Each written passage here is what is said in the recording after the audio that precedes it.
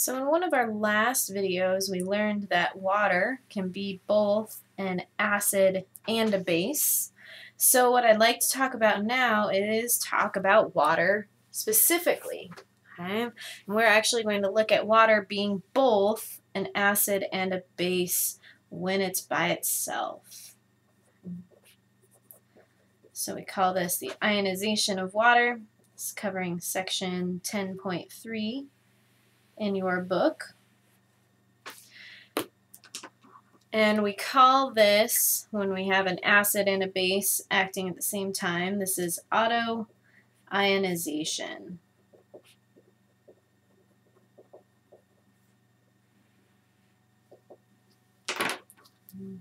So basically what happens is water is acting both as an acid and a base.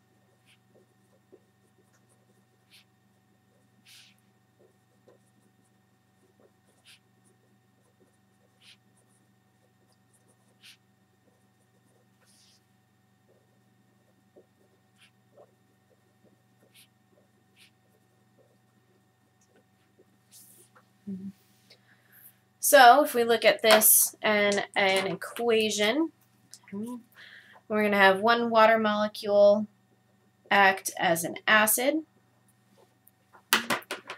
and we'll have a second one that acts as a base.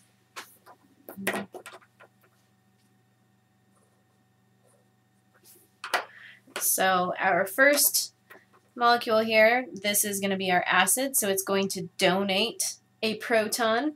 So when this donates a proton, it's going to be left with OH minus, which is aqueous. Then our H2O here that's acting as our base is going to accept the proton. So when it accepts a proton, Basically, I'm going to keep this color coded for a second. If we have H2O and it accepts a proton, so that the red hydrogen is coming from the first water molecule and that's being added to the second one shown in blue. Otherwise, this is just H3O plus.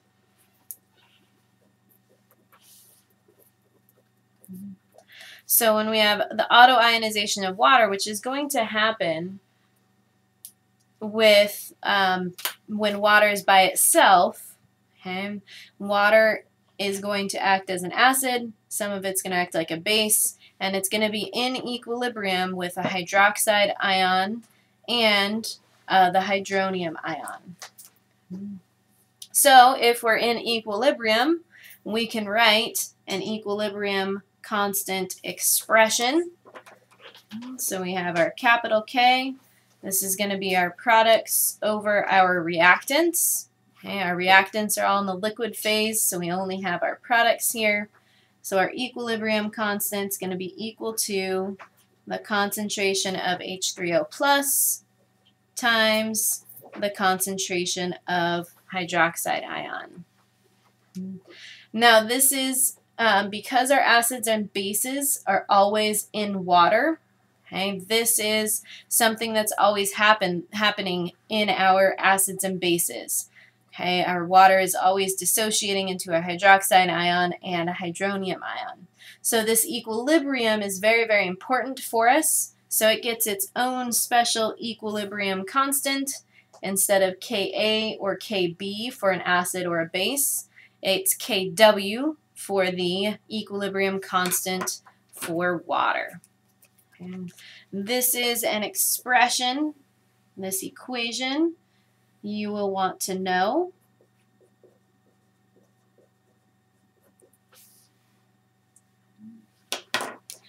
And if we look at this experimentally, okay, to determine these the concentrations here, in absolutely very, very pure water. The concentration of H3O plus is equal to the concentration of OH minus. And they are neutral. Pure water is neutral. and they both have a concentration of 1.0 times 10 to the negative 7 molar. And so really small molarity there, meaning that this equilibrium definitely is, is favoring over on our left-hand side, but we do have some of our um, hydroxide and hydronium ions present from water. So if we then want to calculate our value for Kw, we have basically 1.0 times 10 to the negative 7 times 1.0 times 10 to the negative 7, which is equal to 1.0 times 10 to the negative 14. And this is our value for Kw. This is also something that you are going to need to know.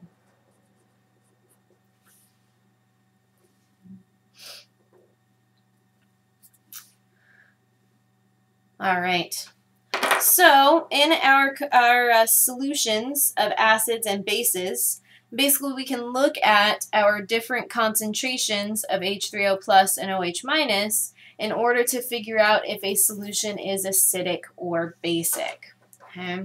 So if we have uh, something where our concentration of OH minus is equal to the concentration of H3O plus, that is a neutral solution.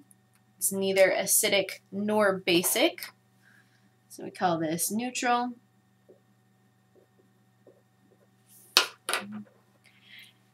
If our concentration of the hydronium ion is greater than the concentration of the hydroxide ion, if our acid is greater than our base, we have an acidic solution.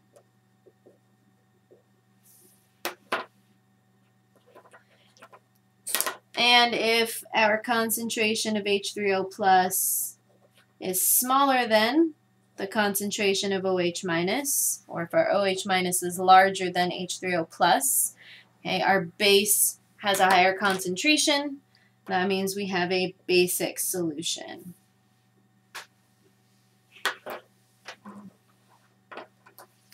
So this is helpful for us if we want to look at a solution and figure out if it's acidic or basic. Okay. We can also use our equilibrium constant expression, our Kw expression, and our value for Kw to be able to calculate one or the other. So if we're given a concentration of H3O plus, we can calculate the concentration of OH minus. Or if we're given the concentration of OH minus, we can calculate the concentration of H3O+. plus. Okay, we can do that for any solution that we're looking at. If we're given one of these concentrations, we can calculate the other. So let's look at it. So if the concentration of H3O plus is 3.0 times 10 to the negative 4 molar, Let's determine the concentration of OH minus.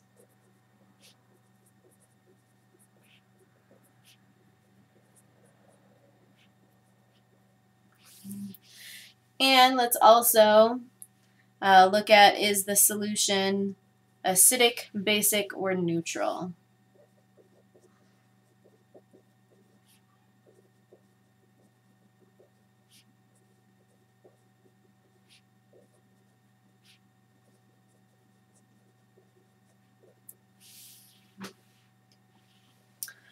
So like I said, to look at this um, problem, we're going to take our expression for Kw okay, and our value for Kw. So we know Kw, we know our concentration of H3O+. plus. We can then solve for the concentration of OH minus. So we have our Kw expression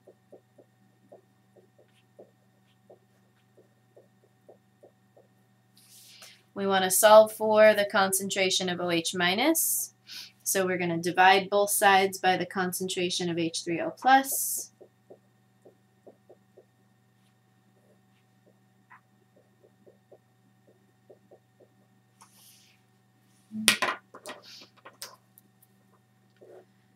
So those cancel. So we have concentration of OH minus is equal to KW divided by the concentration of H3O plus. We can now plug in our values here. For Kw, we know that this is 1.0 times 10 to the negative 14. Divide that by our concentration of H3O plus, which was given to us. We have 3.0 times 10 to the negative 4.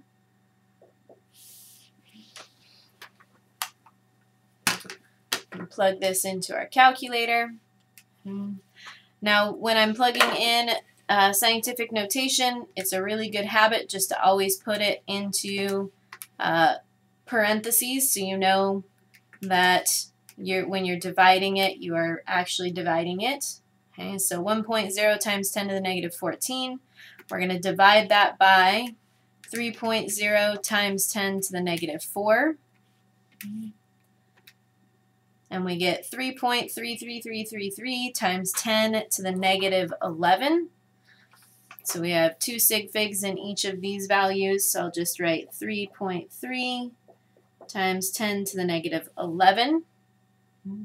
And don't forget, we always want to include units. Okay, the only value that we have that doesn't have units are the equilibrium values. Okay, so this 1.0 times 10 to the neg negative 14 does not have a unit with it, but we are not calculating that. We are calculating a concentration. And remember those square brackets mean a concentration and molarity. So we have 3.3 times 10 to the negative 11, our concentration or molarity of OH minus. And then our next question we want to ask is, is the solution acidic, basic, or neutral? So we know our concentration of H3O plus is on the order of 10 to the negative 4. Concentration of OH minus is 10 to the negative 11. So our concentration of H3O plus is greater. That makes that solution acidic. And that's because 10 to the negative 4 is greater than 10 to the negative 11. And that was our concentration of H3O plus versus concentration of OH minus. So our two answers here we have our concentration of 3.3 times 10 to the negative 11 molar hydroxide ion, and we've determined that this is an acidic solution. In the next video, we'll learn a way, instead of looking at our two concentrations and comparing them to each other, we're actually going to develop what's called the pH scale, which is going to give us a, a simpler view of determining whether or not a solution is acidic, basic, or neutral.